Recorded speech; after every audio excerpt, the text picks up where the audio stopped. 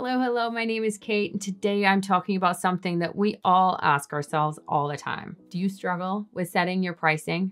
Do you often find yourself second guessing what your customers are willing to pay? Because don't worry, you are not alone.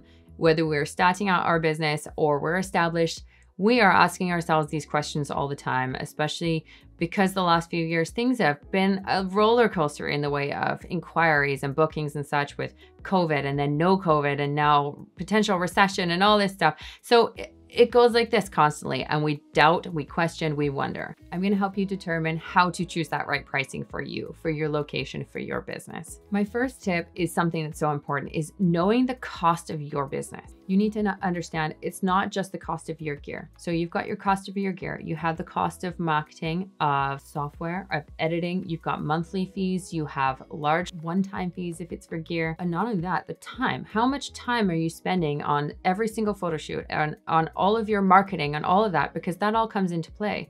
So, your time, you have to establish your cost of business. And there's lots of online tools to be able to establish your cost of business. Throw it all in there. You're co- traveling to your photo shoot, parking, all that comes into play. So, establish all of that bring all your numbers in because once you have a clear idea of your cost, you can then determine how much you have to make per photo shoot to be able to make it financially worth it for you.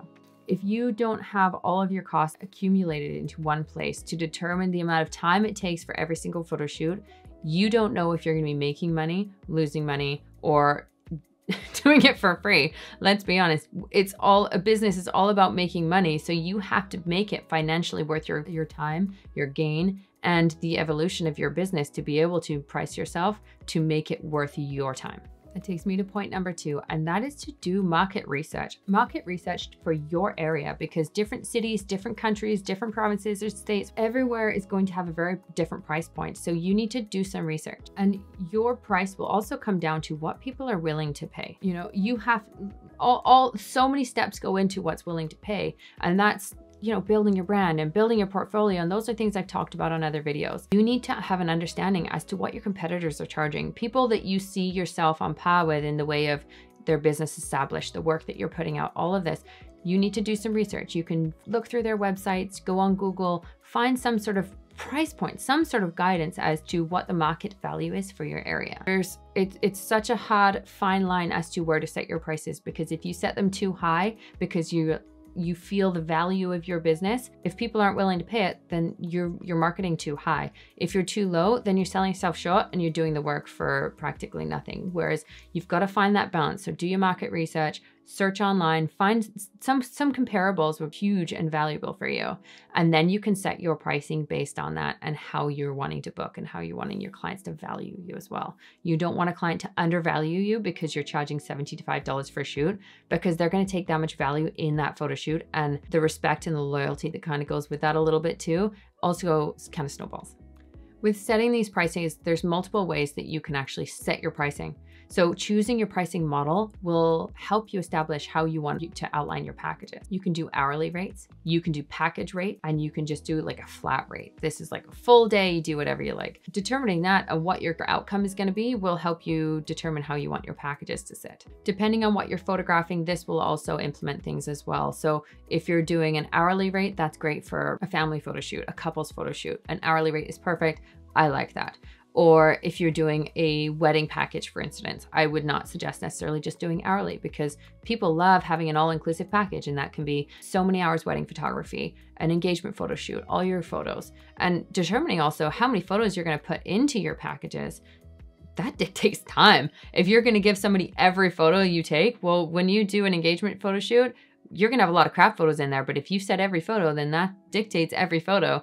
And you then have to decide what you're willing to actually provide your client. If you allow a minimum photo count, then you are establishing, okay, I'm guaranteeing you this many photos. And if I choose to give you more, that's my choice because that's your time. Editing and culling time and backing up time, sending, that that all comes into your cost of business. Tip number 4 is when you're trying to outline your packages and your pricing, you have to determine who your target audience is.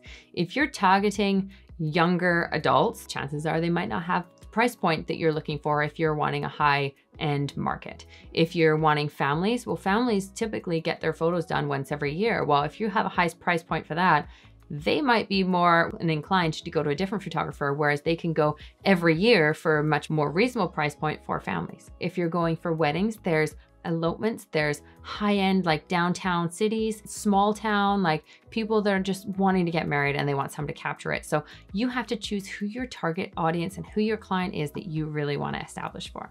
Once you've established your target audience, you can then do some market research into what they are willing to pay for your services. If someone's not willing to pay for your services or pay for that price point, then your services are not worth that value to that client. So maybe you need might need to change your target audience and market to a different area. And tip number five, once you've started to accumulate these pricing and create these packages that work for you, for your target audience, you need to be very transparent and consistent in what you're offering for everything that you're doing. You need to put this out there, social media, website, content, whatever it might be, inquiry, if you've got a PDF, if you want a high value package, you need to voice that in everything that you do. There has to be that loyalty and that trust, and you're building that with everything that you're putting out there. They need to understand what they're getting. If you've got a lower price point, that's because you're not necessarily putting in the time for helping them really establish the time with you, uh, create that relationship, you know, guides or whatever it might be. So this is why it's a lower price point versus if you want a higher price point, they get guides, they get questionnaires, they get personal calls, they get whatever it might be. So establishing these is really going to help you build that trust with your client. And then that's why they're going to come. There's so much that goes into creating your pricing is that the market research is determining how much your value, you feel that your value is and who your target audience is to determine if you can actually market to them at the price point that you have. You need to build that trust with them. You need to be able to communicate what your value is and why maybe you're at a higher price point and you're a lower price point, whatever it is that works for you and your business and your clients that you're going for, taking all of this, establishing all of that into a pricing package, communicating it with your client, that is how you're going to know if you're in the right ballpark for your pricing. But after all, yes, photography might be a passion. Putting it into a business is business. It has to be profitable or it's not worth your time. Because if you're not accounting for travel, your travel time, your parking time, all of this, like it matters. It truly does. So find your price point, do your research, target your audience, be transparent, and just work, own it, value it, have clients value it for you. So go out there, do your research, set your packages, find your boundaries, and it will really help you establish who you're talking to and communicate your value to them because you're valuable as a photographer, as a business owner, as someone that's going to create and capture these memories for other people. Own it.